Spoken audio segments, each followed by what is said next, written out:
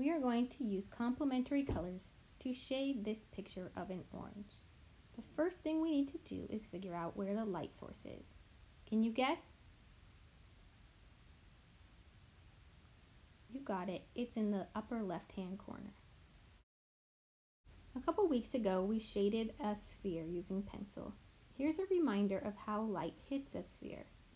We have our light source, our highlight, our shadow, and our cast shadow. Don't follow along with this video, just watch as I spit it up super speed. So the first thing I'm going to do is color in a yellow circle. And then I'm going to lightly add a bit of the bright red to make it kind of an orangish color. Now notice that I'm spending a little more time on the shadow side because I want to start with a darker orange on that side. So just spend a little time adding a bit more red to the half of the orange that's in shadow. So you might be thinking, yeah, this kind of looks like a peach. And that's because we can't make something look like it's in shadow if we just add a darker red. So in order to dull that orange down, I'm going to add some blue.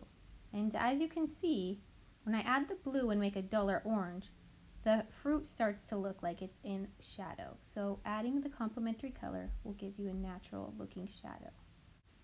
Okay, um, now you can add that little stem thing. And notice it's not up there on the very edge of the circle. It's down a bit. So um, as soon as you go putting things up on that edge, you flatten out your picture. So make sure you move it down into the circle a bit. And you can try and shave it, shade in those little um, creases that are around the stem um, with your blue. And I'm noticing that my creases look kind of green, but that's okay. I'm going to go back in there with red and dull those up a bit. But first I'm going to add a little more yellow and a little more red just to make my orange look more orange overall. So here we go yeah, so I'm just kind of adding a little bit here and there and smoothing everything out. So now I'm going in and I did some outlines around it to clean up the edges and I'm going to color in that table um, all in blue. So to make it look like it's sitting on the table, we're going to want to draw the cast shadow. So look at the picture and see where the cast shadow is and then just draw it in. Now, you shouldn't be following along with me right now. Just kind of watch and see, see what I do. Um, you'll have time to draw later. So I'm just coloring in that shape of that cast shadow in red because the table is blue. And so what color do I want to make the shadow? Orange, right? So I'm starting with my red and then later on I'm going to go in with yellow over the top of it. So I'm kind of concentrating um, on making it a little darker right next to the orange. Um, that's where the darkest spot is. So what you're going to do is you're just going to kind of go in there and experiment and layer on one color and then layer on another color. Pretty much layering on all the primary colors in this drawing.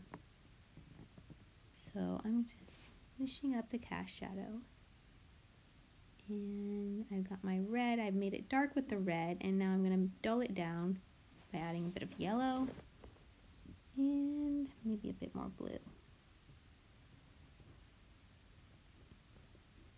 So it's kind of a matter of trial and error.